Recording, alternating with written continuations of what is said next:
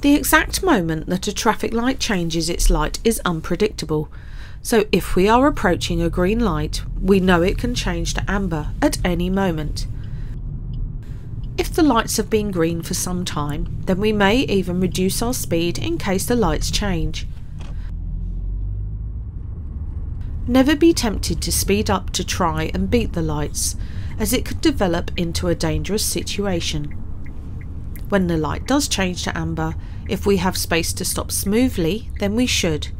However, if it is too late to brake smoothly to a stop, then we are committed to passing the amber traffic light and should keep going. Don't be tempted to brake hard or suddenly, as you could surprise the driver behind you, which could result in an accident.